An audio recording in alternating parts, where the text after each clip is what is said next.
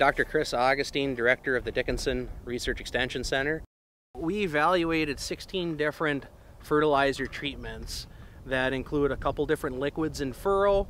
Uh, we hand broadcast 1152O, urea. We had some foliar feedings at different growth stages as well as some different mixes of foliar feedings. Um, we had inoculation uh, as, as, a treatment and, and at the end of the day we didn't see a single response. Uh, this was the course over three years. Each year we had two sites. Two of them were in the Minot area. Uh, one was a little bit closer to Garrison.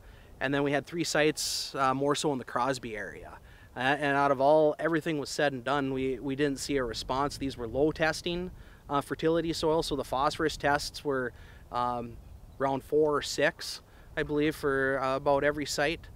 Um, Soybeans were a previous crop within the past four years. In most instances, soybeans were two years or so prior to the year I did that research. Usually wheat was the uh, preceding crop. There was two times where soybeans was the previous crop. Um, but with all that, uh, we didn't see a single response. Um, and so working with other researchers uh, throughout the state, we kind of compiled uh, all of our findings together for the past 15 years or so and, and, and we still don't recommend any nitrogen on soybeans because they have that rhizobia that fix its own nitrogen but we did adjust the phosphorus recommendations.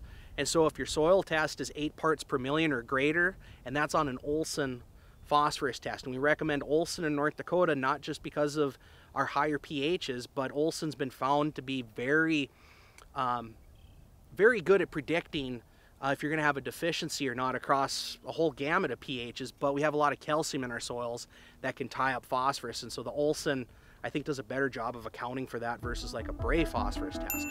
But um, soil test comes back eight parts per million or greater, we don't recommend any phosphorus. If you have um, a soil test from like four to eight parts per million, probably 26 pounds of P2O5, so you'd be looking at right around 50 pounds of 1152O per acre. If your soil test is less than uh, four parts per million, we'd recommend about 50 pounds of P2O5. So now you're around 100 pounds of 1152O per acre. We still recommend broadcasting the phosphorus versus incorporating, but if you're in no-till country, you know, you gotta get that stuff in the soil, so probably banding is your best option because you wanna get that in the soil and not have it sit on the surface. So we did do a little bit of tweaking with the potassium recommendations and that's more site specific throughout the state and that's based on the clay mineralogy. So if you're in areas uh, like the Red River Valley, Morton County, uh, Divide County is another area that has a lot of what we call smectitic clays. that's the stuff that shrinks and swells uh, when it's dry or when it's wet.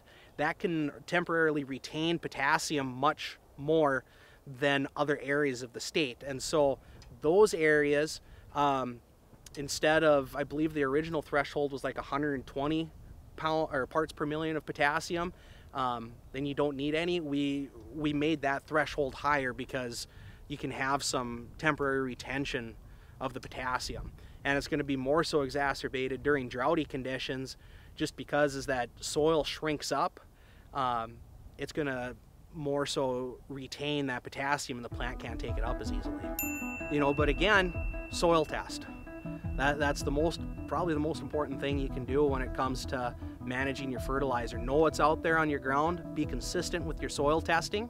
Um, and by that I mean timing of the year because it's a different snapshot in the spring versus the fall. So if you like to fall soil test, keep doing it in the fall because over time it gives you a better feeling of what that ground is doing.